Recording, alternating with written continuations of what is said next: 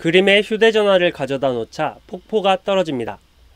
또 다른 곳에서는 휴대전화 화면에 산신령이 나와 박물관을 소개합니다. 증강 현실 기술을 접목시킨 신안군 자운도의 수석 미술관입니다. 300여 점의 수석을 보다 알기 쉽고 어린아이들도 관심을 가질 만한 볼거리를 마련했습니다. 미술관 앞 수석 정원은 3,000톤에 이르는 기암괴석과 200여 종의 야생화, 다양한 분재 등이 해변과 어우러져 마치 신선 세계에 온 듯한 착각에 들게 합니다. 현재 국내 최초로요 IT가 접목돼 가지고 중광 현실로 즐길 수 있는 그러한 곳입니다. 거의 수석 전시관 그러면 예, 보통 그냥 스쳐가는 그런 전시관인데 여기는 그하고 다릅니다. 남녀노소 와서 누구든지 이렇게 오랫동안 즐기고 감상할 수 있는 그런 공간을 구성해 놨습니다.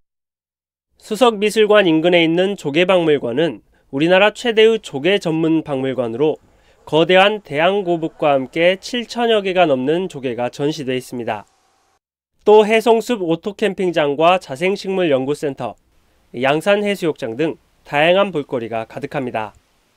지난해 천사대교가 개통되면서 자은도까지 차를 이용해 올 수 있게 된 만큼 접근성도 높아졌습니다. 천사 뮤지엄 파크는 바다와 숲, 문화와 예술이 자연스럽게 어우러지는 복합 문화 예술의 공간으로 조성하였습니다. 코로나19로 지친 분들이 찾아와 힐링하고 재충전할 수 있는 공간이 되기를 희망합니다. 신안군은 수석미술관과 조개박물관 등 천사 뮤지엄 파크를 다음 달 1일부터 본격적으로 운영할 계획입니다. 신안 뮤지엄 파크가 지역을 대표하는 새로운 관광지로 떠오를지 기대가 모아지고 있습니다. 헬로티비 뉴스 박종호입니다.